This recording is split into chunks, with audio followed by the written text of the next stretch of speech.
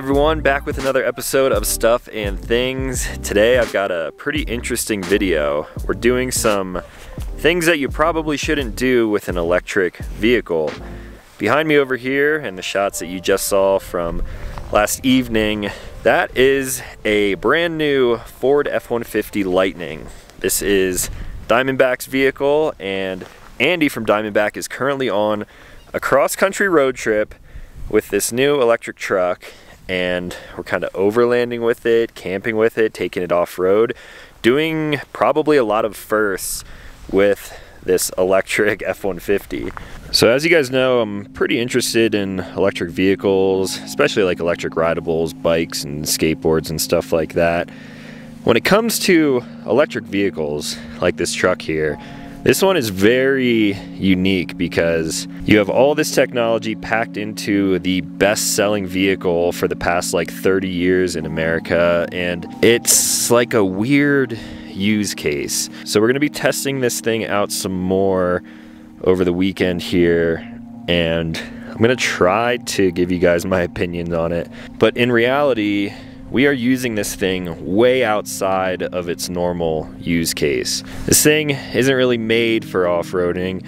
It's really not made for cross-country hauls, but that's what makes testing it outside of its wheelhouse kind of fun. So this testing began yesterday. We were planning on coming up here to one of our favorite trails and mountain lakes, a really nice camp spot. We were going to leave around noon, that way we could set up and make some food and stuff like that, but we ran into the first snag with the F-150 Lightning, and that is the range and finding chargers.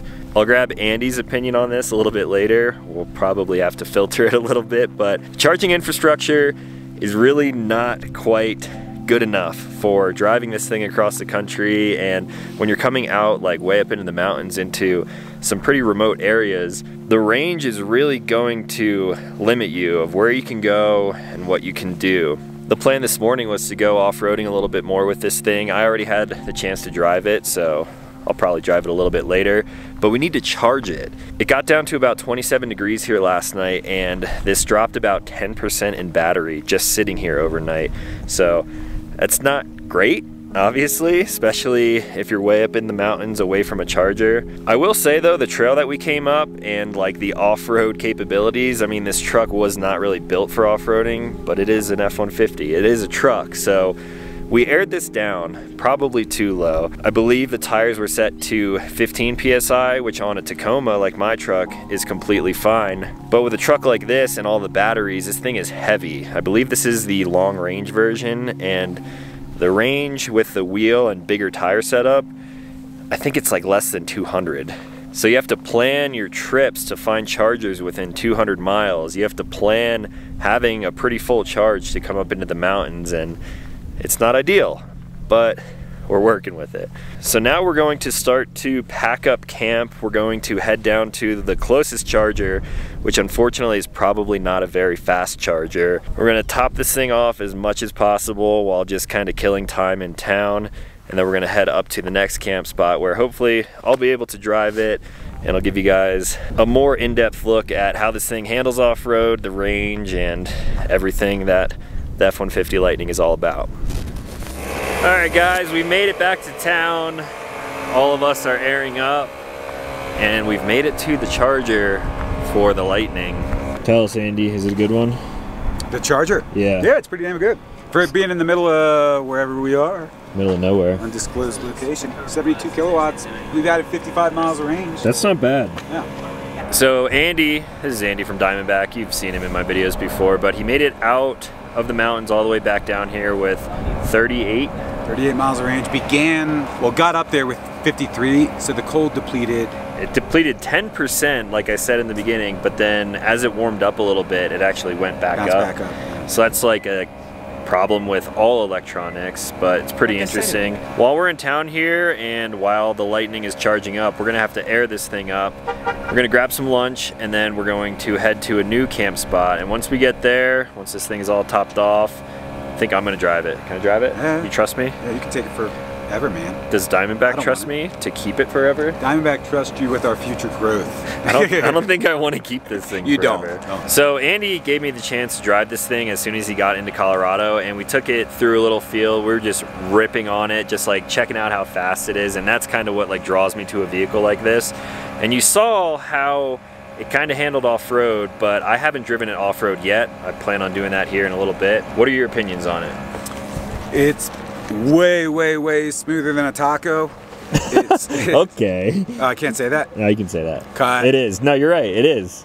No, I mean it's it's you, you. We were doing 75 miles down a washboard road and couldn't feel it. I mean it, it's just rolling over. It's so heavy, sticks to the. I mean it feels like you're on a track. The energy usage too was almost non-existent. You know, you're regenning coming down. I think on the way up we used two or three miles of range.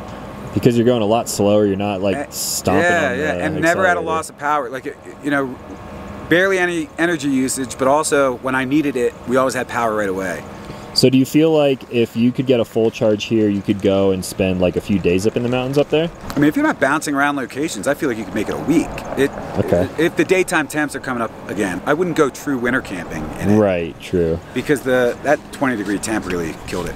And I also am going to get his opinions on driving it from Diamondback in Pennsylvania all the way out to Colorado. He's on a big road trip right now, so he's continuing this journey. Utah. Going to Utah next, going down to Southern California. He's got his wife and kid with, and he's got some opinions on that. So we'll uh, ask him about that once we get up to the campsite. all right, guys, we have fueled up our bellies. We have charged the Lightning. Can I have the keys, Andy? Can I have the keys, please? It's got two miles of range. two miles. Be back by midnight. well, we've got probably like 10 until the campsite, so. That's right. All right, it's time for me to drive this thing off-road proper. You want to hold the cam for me? Yeah, I got you, man. This whole video is really for like driving this thing off-road, overlanding and stuff, but this is the front. You can put drinks and ice and stuff in like a cooler under here. Four outlets, USB-C, regular USB. Is that the power for the outlet too? So you can turn them on. We don't want to kill the range though, Like so an indicator. an indicator. And then the back has a more powerful outlet. 220. So you could like run a welder off of it. Yeah. Sweet. Don't run a welder off it, man. Mike says you could do it forever, but I don't believe him. I don't know. Let's do All right. it. Don't take her easy. All right, should we just steal this thing now? Yeah, should we just let them go on the trail and then we just go rip around somewhere See you guys. All right, so interior of the new Lightning. I already like that they don't have like a knob or like a stock for the Teslas, so power on. Seat moves forward. And it's running now, which is weird. I'm not even gonna get into like all of this stuff because I honestly haven't spent much time with it. Uh, we have 142 miles of range right now, and that should be plenty to go to where we're camping and then for these guys to get back to Denver. So, I mean, this is comfy compared to a Tacoma. Dude, these seats are nice. Danny drives a F-150 Tremor, so this is like right at home for you, huh? Oh, it feels great. All right, I guess I should buckle up. You might want to as well. Buckle up as well. All right, so gear shift, I like that. Isn't it like the Dodges that have the little dial? I think so. It's so weird. Immediately silent. Already, The suspension's so soft. yeah, already just backing up in this little like dirt parking lot. It's so soft compared to even my truck, which is heavily upgraded. Should we stomp on it just once? All right, I want to conserve some of the range, but I'm just gonna give it a little. boop. Ready? The camera's probably gonna go flying. Yeah. Oh my god! It doesn't hook up like immediately because obviously we're not even in four wheel drive yet, but we're on dirt, get a little bit of tire spin, and I mean, it's like a hoon mobile right now. It's starting to snow. Yeah, it's starting to snow up here, which is not good for the range, but you can kind of see the roads in front of us here. Like, Let me see if I can get it. it's gonna be bouncy. So big potholes, washboard, dirt road. This one, at the point that we're at right now, is fairly heavily trafficked. There's been a lot of cars in and out here all summer, but even today we've seen a lot of vehicles. So not the greatest road ever, but this is already obviously way quieter and even more comfortable than the Tacoma. I guess I should go a little bit slower because we did not air it down this time. So right here, it's getting a little, a little bit rockier. Still in two wheel. Honestly, I should have asked how to put it in four wheel. Is this the same as your Tremor? Do you know how to It's do that? similar, so you can change your drive mode.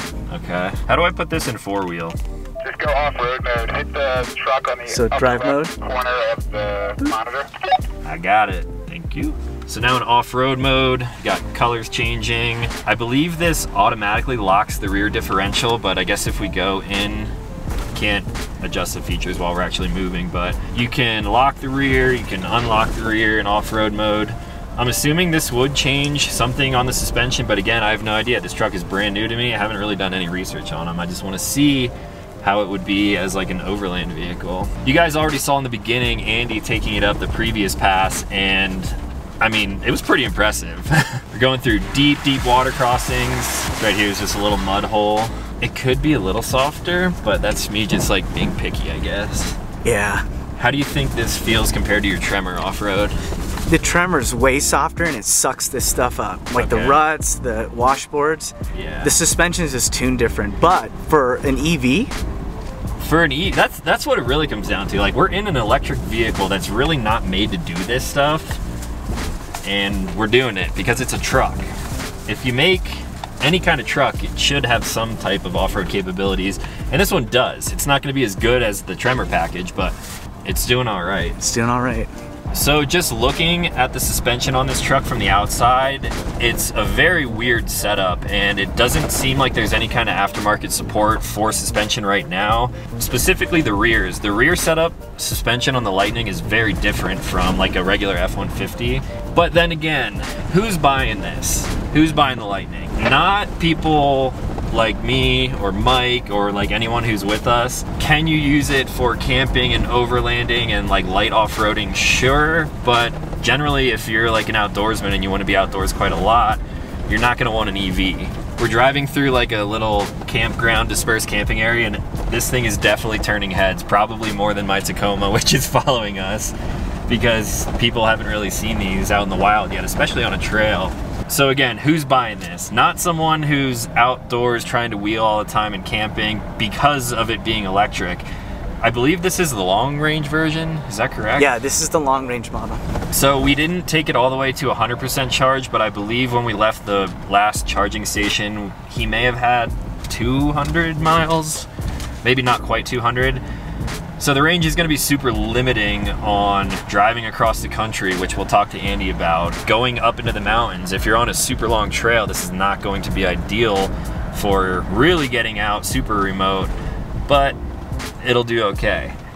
I think the people who are buying a vehicle like this generally probably pretty wealthy because right now I believe these are like 80 grand if you can even get one. I'm sure people are selling them for quite a lot more than that. I think this Diamondback Lightning is a Lariat. Yeah, this is the Lariat package too. So, I mean, there's different packages. So I think people who are buying this generally live in a city. I, it kind of reminds me of like someone who's blue collar, like you want a truck, but you live in a more populated area, like suburban areas.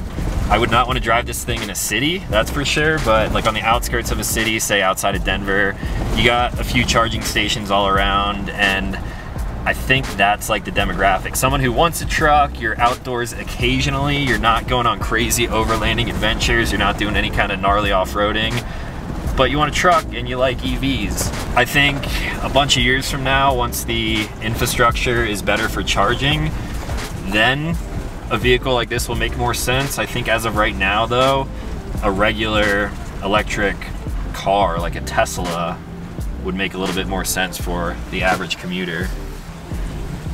This thing's so quiet.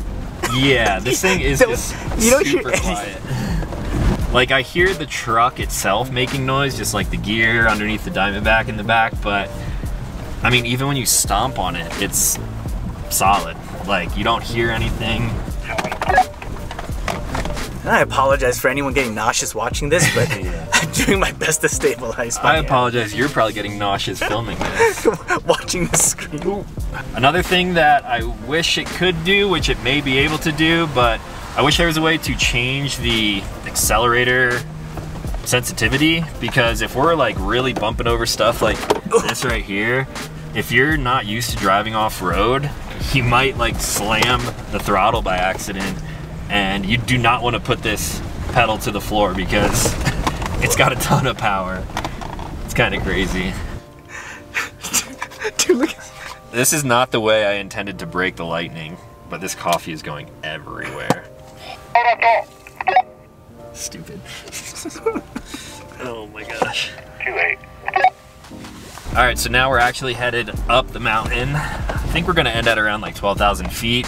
Trail's getting a little more like off camber, kind of rutted in sections, but the Lightning's handling it just fine. Now, originally when I was going into my truck purchase, of course, I have a Tacoma. I got it because the trails in Colorado are fairly tight and this trail right here is not too bad unless we have some oncoming traffic, so we should be able to make it up just fine. The Tacoma to me feels like a sports car. Like when you're sitting in it, you're kind of like lower to the floorboard. You're definitely more cramped than something like this. This feels like a proper truck. So that's the difference between like a full size and then my tiny little Tacoma. I did also drive the Ranger. Do you think they'll ever make an electric Ranger? I mean, eventually it may go there. That would be kind of tight. Oh, here's something. Oh, there it Ooh, is. Yeah. Here's something to talk about. This thing has cameras all over it, but you can't turn the front camera on to see what you're about to go over. So here's a little creek crossing that we're going through. Check that out over there. So actually right here, this is perfect. Andy wants me to back up so they can take some photos, but you got bird's eye view, you got the front camera or back camera right here. Is there a front camera? There is a front camera, yeah. So this thing does have cameras all over it, but when you're driving, I have not found a way to keep that front camera on full time, which I like to do when driving on trails like this in my Tacoma because visibility generally isn't the greatest. I mean, visibility in this is actually pretty good. It doesn't bother me. Maybe I'm just used to driving a truck now, but it would be nice to keep that on. I'm sure there is a way to do this. There's a Ford Lightning owner out there, like one dude who's like, no, you can do all that. You don't know what you're talking about. But hey, is just my first impression. I wasn't even planning on driving this thing.